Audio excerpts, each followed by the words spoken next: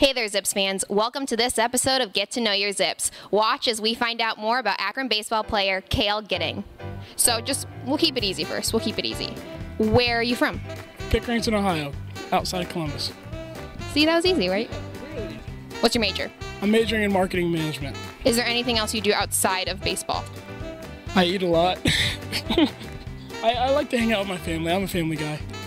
All right, some of the harder questions. If they were to make a movie about your life, which actor would play you?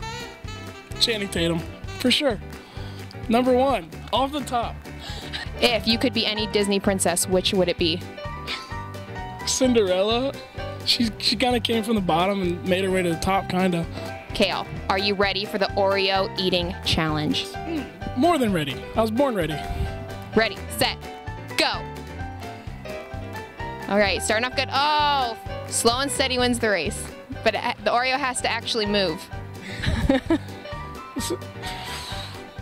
It's frustrating. You're so close. Don't get. Oh. Okay, now don't f- just flip it forward. Inch it down your cheek. Don't just flip it. Try to like work it to one side. Pick a side. Any side. Is there a white flag? I need to surrender. And there you have it. More an Akron baseball player, Kale Gidding. For ZTV Sports Report, I'm Elliot Georgiadis.